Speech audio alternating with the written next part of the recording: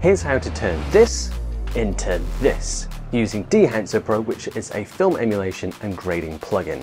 I'm going to give you my initial thoughts on the plugin, as well as how to use it, what all the different options are, and ultimately answering the question, is this worth the cost? Welcome to the Backroom Editor. Dehancer were nice enough to reach out and offer me a couple of free licenses in order to make these reviews, and they asked me to be honest. So I will be.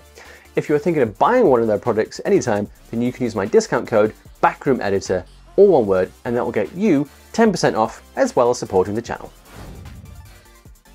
In a nutshell, the way Dehancer works is to accurately emulate all the different chemical processes that happen to film stock, film development, and film projection. I really wanted to see how well Dehancer can handle different lighting scenarios, so I have come 6,000 miles away to the second tallest building in the world, Taipei 101, and I'm going to see what it looks like from the top at daytime, sunset, and at sundown. You'll get the most out of Dehancer if you're choosing to shoot in log or raw formats, but for these reviews I'm choosing to shoot with cameras using standard color spaces to see if we can still get some value out of it.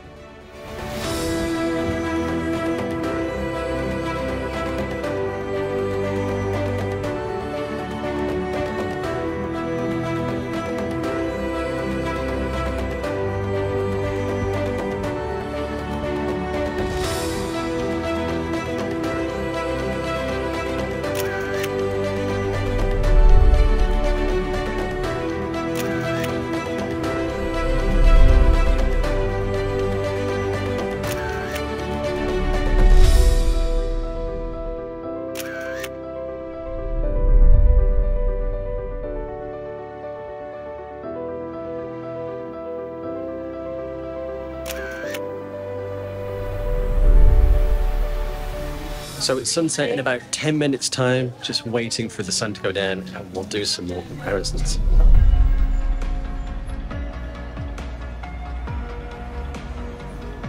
Well, it's twilight now and it's crazy to hear that wind whistling through the bars.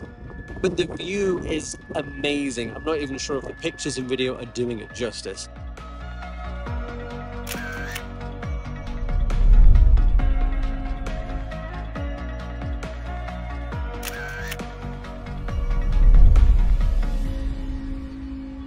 Come back for the final test at complete darkness.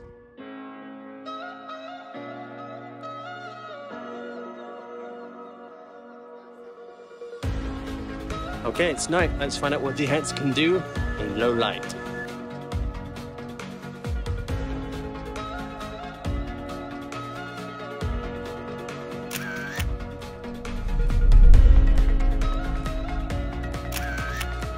Been to some tall buildings in my time, but the views over sunset into night are just 10 out of 10. Definitely would recommend that you come.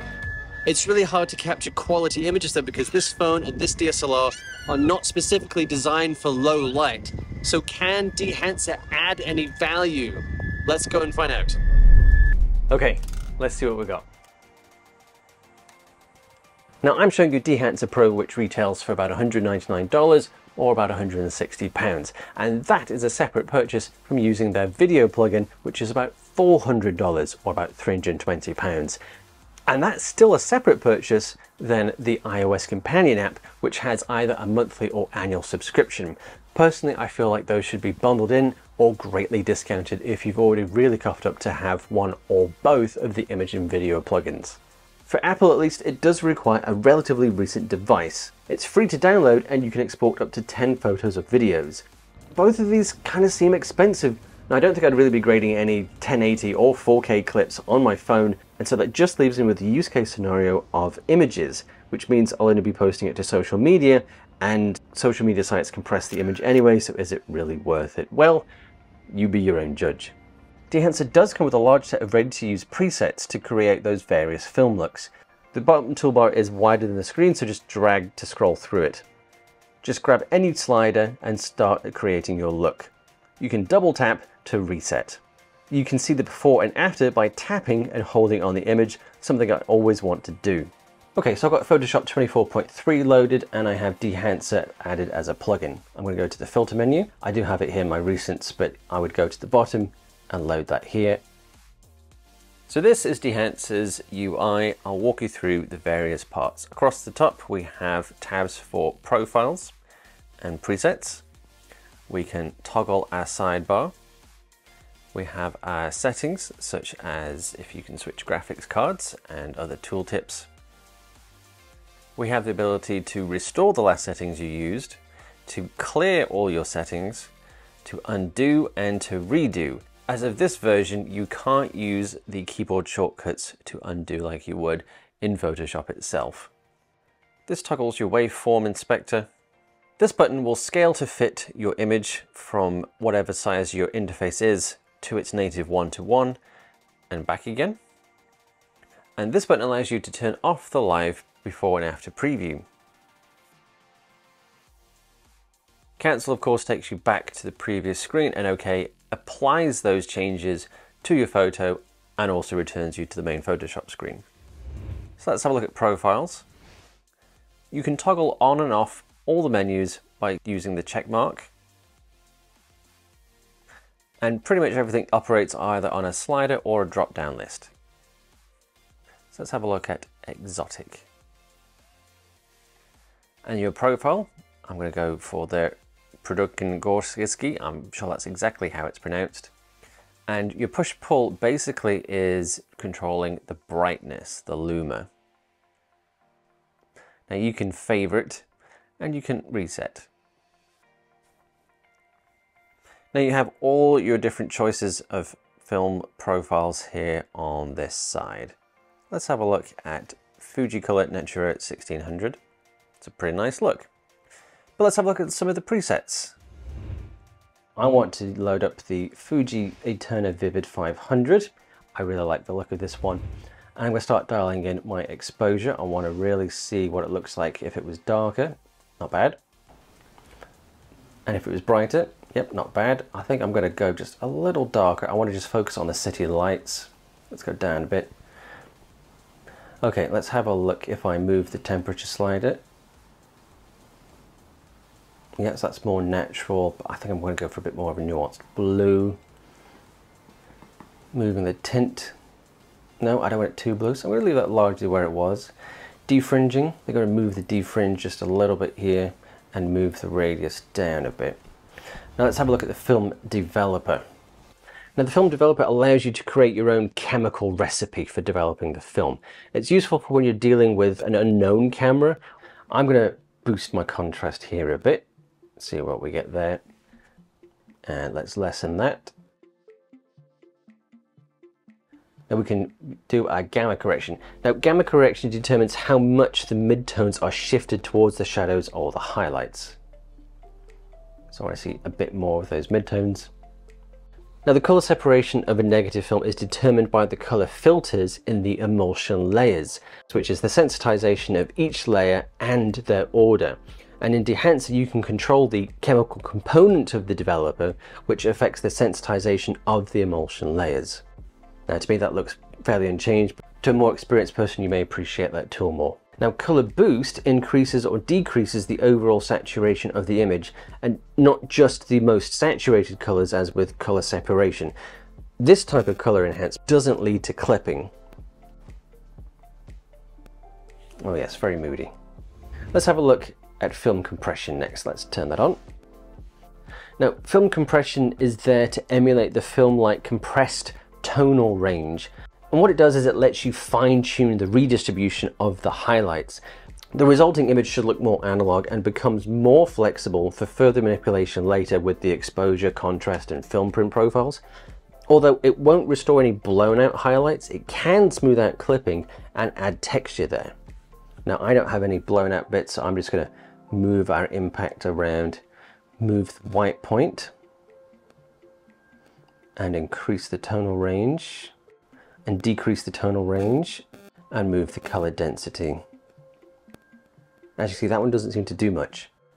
Now you'll notice that some of these sliders aren't really affecting the image very much, and that's because some of these sliders only really apply to certain situations and exposures or need to be used in tandem to offset a different control, like bloom and halation really go together.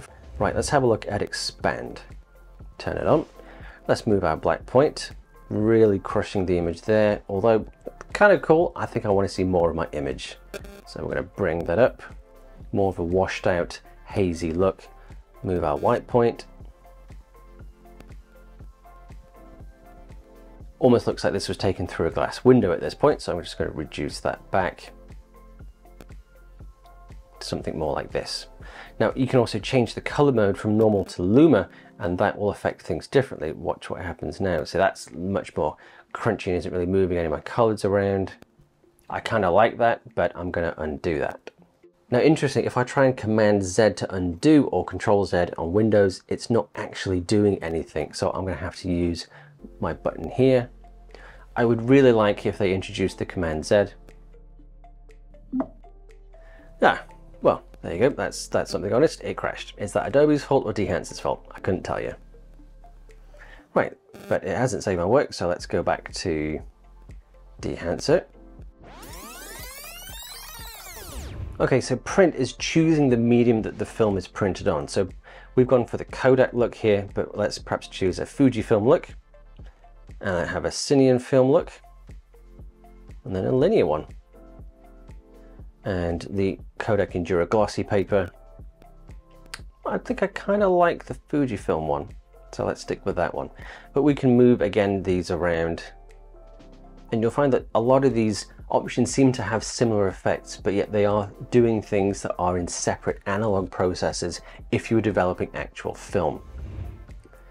So color head and print toning allows you to simulate the print head method. Now in actual film you can choose different color heads and print tonings and this allows you to simulate that. And so you can add a specific tint that isn't present in the original film stock. So this is more nuanced than digital hue corrections and it can be limited to separate areas in the shadows, the mids or the highlights.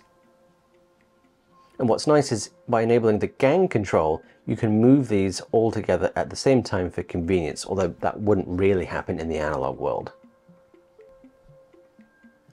Move our shadows, push our midtones, and I'm going to pull up our highlights a bit.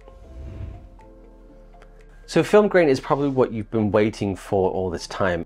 I should note that real film grain isn't just overlaid on top of an image, but in fact the image itself entirely consists of grain. So dehancer is literally reconstructing your shot on the granular level. So it's using local color and brightness and doing complex physical modeling of film emulsion. It's actually kind of clever. Now you can choose a film grain that's accurate for your negative or your positive film print and usually the smallest detail on film doesn't exceed the grain size. So I'm going to switch this from positive to negative and I'm going to up the grain to its max. I think that's a little bit too much for me, so I'm going to dial that right back down. Add some more. I'm going to preserve some of my resolution in the shadows especially. And I can if I want to switch to the digital method, but I don't see the point in that. We, we've got this tool because we want to go analog. Now as you can see, halation's already turned on. I didn't turn it on. I'm going to smooth this out a little bit. I'm going to add some local diffusion. I'm going to amplify it and I'm going to knock the hue. And what's nice is you can turn on the mask mode and you can see where the halation is being added. So if you want to control it better, you can play with your sliders and actually see what's going on. So let's turn that off. Yep, I'm pretty happy with that.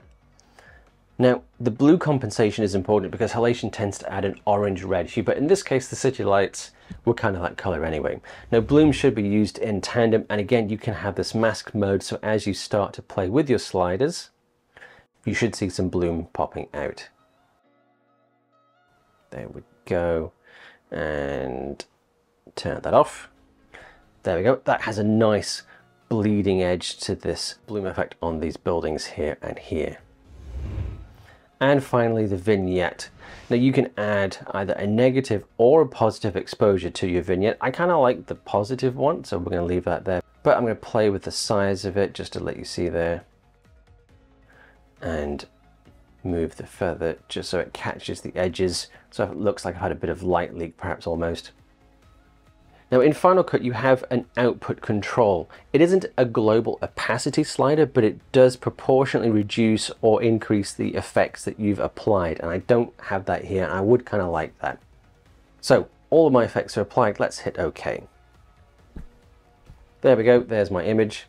Now if I want to apply that same effect again, effectively doubling it, I can just click on it and there you are, you can see it doubles the effect. Really quite strong, not what I want.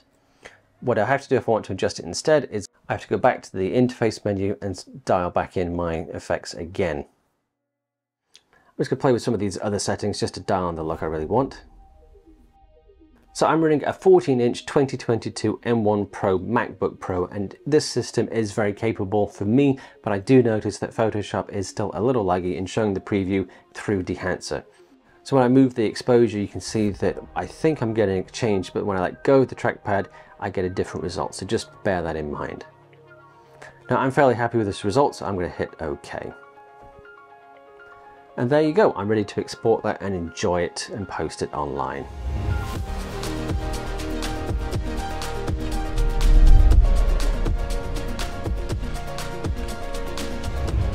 So that's how you can use Dehancer in Photoshop and my thoughts on it on its value. Now, if you happen to be a video editor like me, well, then you can check out my Final Cut Pro review here in the top corner. And if you think that you want to purchase the plugin, if it's going to be value for you, then you can use my discount code Backroom Editor for 10% off. I do get an affiliate kickback, but remember, it's about what you think you will find value in. I'm not trying to push anything on you. In the meantime, thanks for watching. See you later.